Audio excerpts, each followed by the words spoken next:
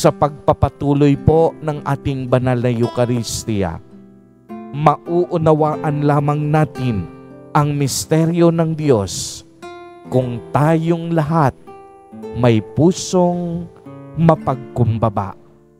Ang isang taong mapagmataas, mahirap niyang makita sa kaniyang buhay ang kabutihan at kagandahang loob ng Diyos.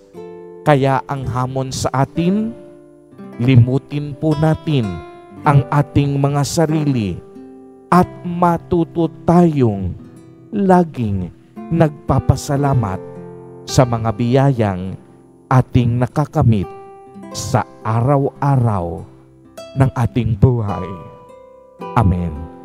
Purihin at dakilain natin ang ating Panginoon, ang mahal na poong Jesus Nazareno